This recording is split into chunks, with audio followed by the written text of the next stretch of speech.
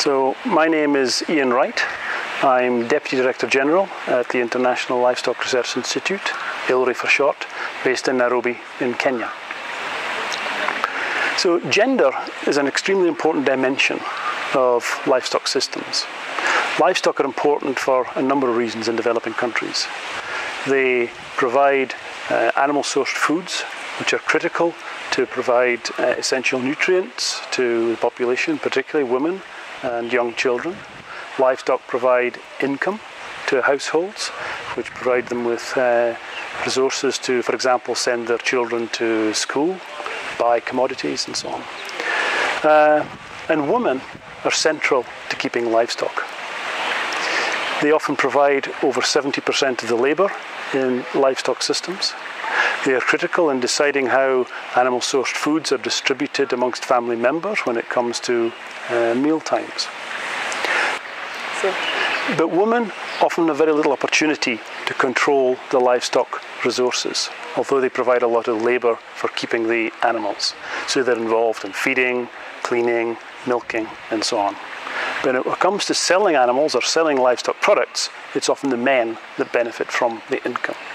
So the challenge we face is how do we ensure that all members of the household, including women, can benefit from the animals that people keep? When it comes to research for livestock development, there are two dimensions that are important. One is what we call strategic gender research. That is understanding the role that men, women, children play in livestock systems and keeping livestock and looking after them and selling the products, and who benefits and who doesn't benefit. And the second component is what we call mainstreaming gender research into other aspects of research. So, for example, if we're developing a new technology, a new breeding system, a new animal healthcare product, then how can we ensure that that new technology benefits everyone men, women, and all involved in keeping livestock? So, the first aspect gender, uh, gender strategic research is about understanding the social norms, the gender dynamics at household level and, and other levels. And how does that impinge on the way that livestock are kept and the way in which different people benefit from livestock? And up until now, very little research has been done in that area. We're beginning to understand some of that dynamics, but we still have a long way to go. As we move into the second phase of what are known as the CGIAR research programs, or CRPs for short, and as we develop the second phase of the livestock CRP, strategic gender research is a very important component of our thinking. And we've developed some proposals that will take this forward in really quite innovative uh, ways. But we also have to think about how we, as I said, mainstream gender into the rest of our research programs. So let me give you an example. If you ask men what the most important diseases are of livestock, you might get a different answer to if you ask women.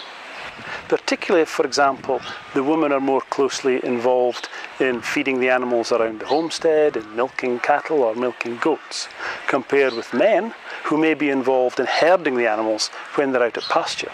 So the men and women see livestock from a different perspective. The women who are looking after the animals around the household may see different behaviours in the animals, they may see different diseases, different health problems compared with the men who are seeing the animals when they're out grazing at pasture. So that's just one example of how, if you ask men and women what the important livestock diseases are, you might get a different answer. And that, of course, should be informing our research priorities. We need to understand what the important diseases are in order to develop a research program around the whole issue of animal health and how you develop new animal health care products. Such is one example of how gender differences become important in helping in uh, prioritizing our research strategies. And there are many, many others.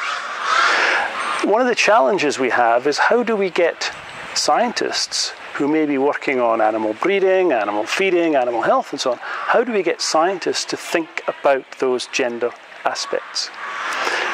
Our experience has been that scientists are very open to thinking about them, thinking about those challenges, but they don't know how to go about dealing with them. So, one of the things we've started doing, and we'll do more as we move into the second phase of the CRPs, is giving our staff and our scientists the tools to help them think through the gender aspects of livestock research for development.